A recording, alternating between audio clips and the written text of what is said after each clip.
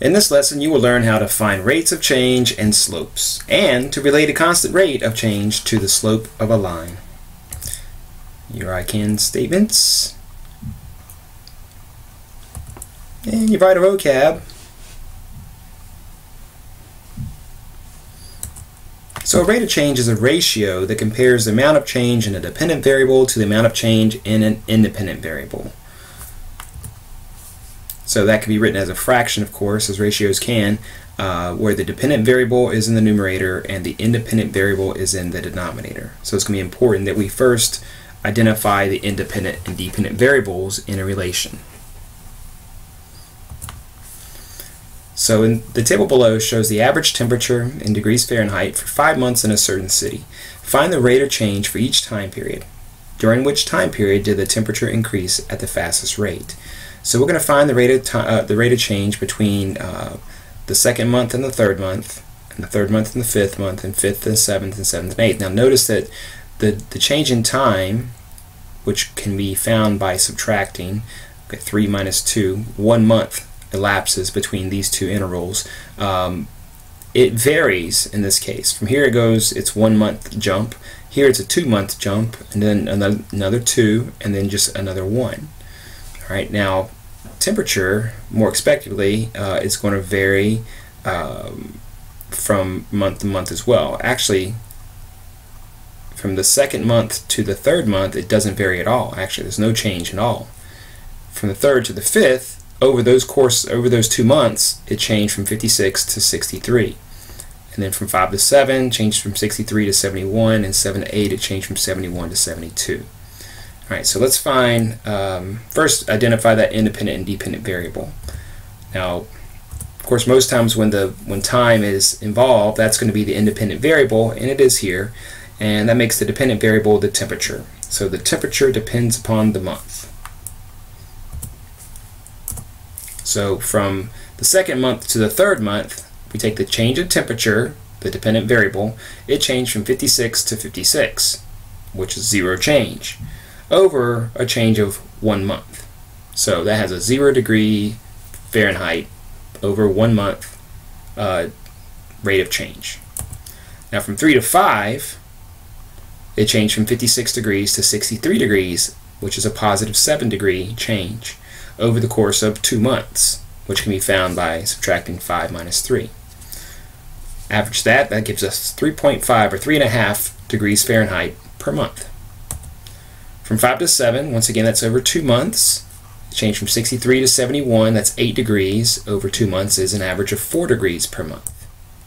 And lastly, from 7 to 8, we get a grand total of 1 degree per month. So the temperature increased at the greatest rate from month 5 to 7. In this interval here, it increased by 4 degrees per month.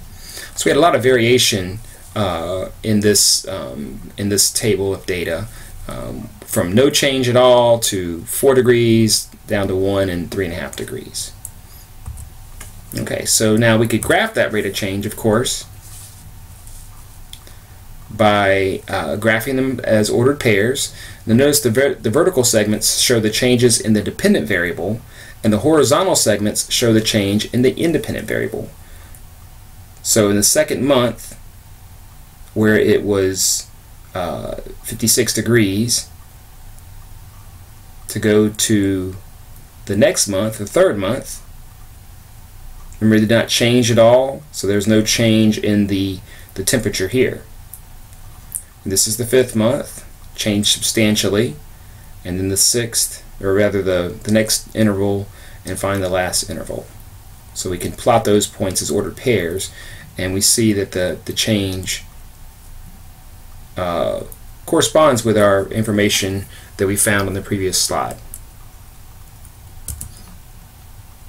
Once again, notice that the greatest rate of change is presented, represented by the steepest of the red line segments, and that happened to be the interval that we identified through our calculation.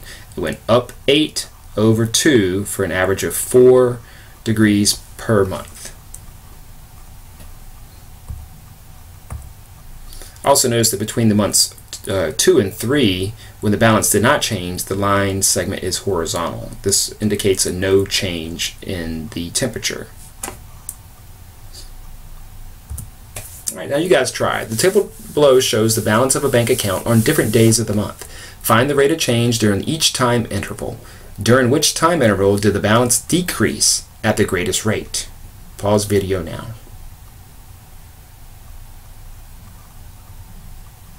All right, so welcome back. We have a first and foremost, hopefully you identified the independent and dependent variable. In this case, uh, the independent variable is the day and the dependent variable is the balance. So now we need to find the change, uh, the rates of change from 1 to 6. Uh, that's a change of 5 days and a change of 285 to 550. So we actually have a decrease in the, bal the balance, which gave us a negative 265 over 5, which is negative 53 uh, dollars per day. Not good. From 10 to 6, uh, 10, I'm sorry, 6 to 16 rather, that's a change of 10 days. Over those 10 days, the balance went from 285 to 210, further de uh, decreasing, which is a negative 75 over 10, which is negative 7.5 average uh, dollars per day. 16 to 22 actually had no change. It went from 210 to 210 over the course of six days.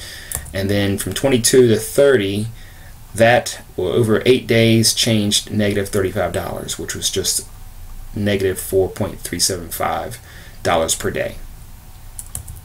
So the balance declined at the greatest rate from day 1 to day 6 early on, $53 per day. Then it seemed to slow down a little bit, actually stopped changing for a little while, and then picked up a little bit more. Now if we were to graph that information, it would look something like this.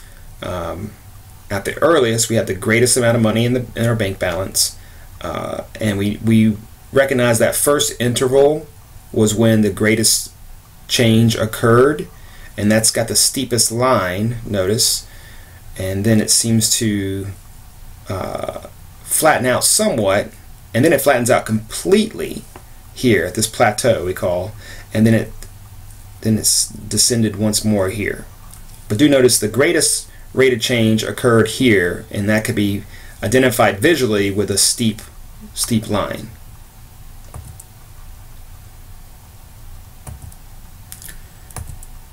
Also notice between 16 and 8, uh, I'm sorry, 16 and 22, when the balance did not change, uh, the line segment is horizontal, oops, which we, we mentioned. So if all the connected segments have the same rate of change, that means we did our, uh, our computations and they all came up with the same rate of change, then they have all the same steepness and together form a straight line.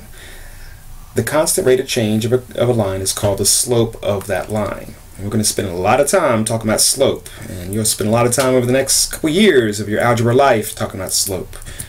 So, what is slope? Well, slope, uh, we have some terms we're going to reference. Uh, when we talk about rise, uh, that's the difference in the y values of two points on a line. Um, we talk about run, that's the difference in the x values of two points on the line. And then slope, of course, is just the ratio of the rise to the run for any two points on the line. So we'll express slope as uh, slope, of course, and it equals rise a run, and we'll also describe it as the change of y's or change in y's over the change in x's. And we'll even describe slope as m, the, the variable n, m rather. Remember that the y is the dependent variable and the x is the independent variable. So y's are already on top. You're going to go up and down. That's going to be in the numerator, and then side to side is your denominator. So in this case, this line, we go up one, two, three units, and we run two units. Rise one, two, three, run two. Rise one, two, three, run two. So this has a slope of three over two. So find the slope of the line given. Well, uh, I'm going to identify preferably two points that are on the, the grid lines. Uh, in this case, we've got 3, 2, and we've got negative 6, positive 5. Now I'm going to begin at one point and just count vertically to find the rise. Now it really doesn't matter which point I begin at. I'm going to start at 3, 2, and I go up and I find the rise is 1, 2, 3 units. then I'm going to count horizontally to find, uh, to the second point to find the run. So now notice I went to the left, since I'm going to the left in the horizontal run direction, that's going to be a negative run. It does not matter which point you start with, the slope is going to be the same either way. For instance, if I had started at negative 6, 5, I would have gone down negative 3 and then run positive 9. Still give me a value of negative 3 over, 1, over 9, which is negative 1 third.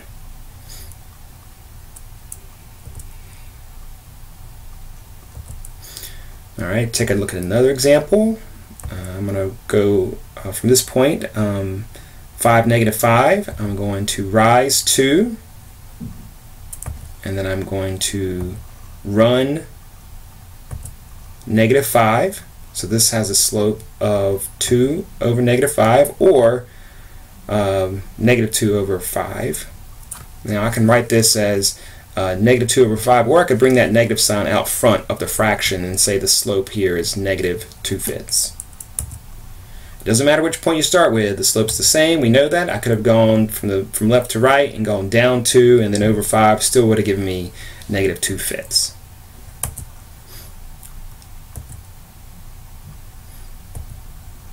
Okay, two more examples.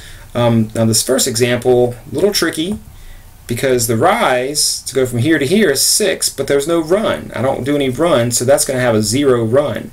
Now this is actually what we call undefined, or you cannot divide by 0, so it's undefined um, or uh, has no slope. Now that's different from this horizontal line, which does have a run, but it doesn't have a rise, in which case you have a 0 in the numerator. Now that's okay. That's called a zero slope.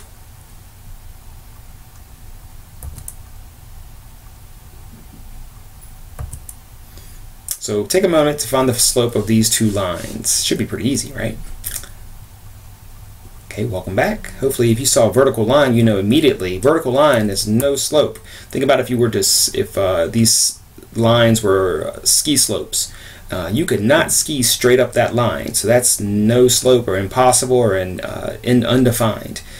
Likewise, it would take zero effort to, to really ski on uh, this flat this flat uh, this flat line it would go you would have zero speed really. So you have zero slope on a flat horizontal line. So as shown in the previous example slope can be positive negative zero or undefined. You can tell which of these in this uh, is the case by looking at the graph of a line. You do not need to calculate the slope. Just by looking at it you can tell if it rises from left to right it's going to be positive. It's like going uphill uh, it's going negative, it's going from left to right, going downhill, and zero slope is that horizontal line, and then vertical slope is that undefined line. So tell whether these, positive, negative, undefined, or zero. Uh, obviously this one's going up from left to right, so it's going uphill. Um, that will be a positive slope. And the, the one on the right is going downhill. That's going to be a negative slope from left to right. So now you guys give it a try. Positive, negative, zero, or undefined. Pause your video now. Alright, welcome back. Hopefully you recognize that first one is a vertical line, so that's going to have an undefined slope. And that second one, B, is going uphill from left to right, so that's going to have a positive slope. How'd you do? Alright guys, so when comparing slopes, notice that um, when we're comparing slopes, the uh, the slope obviously does matter. The slope slope uh, represents the steepness of the line. So even if it's negative, it can have a greater steepness than a positive slope. So we, we compare using the absolute value of the slope. So this line with a slope of 4 is greater than this line with a slope of 1 half, obviously. Now this one has a slope of negative 2 and that has a greater slope or a greater steepness I should say than the slope of negative 1 because that's a greater absolute value. Um, this one has a positive slope of 3 fourths, but the negative one has a greater steepness because it has a greater absolute value. In this lesson, you learn how to find rates of change and slopes and to relate a constant rate of change and the slope of a line.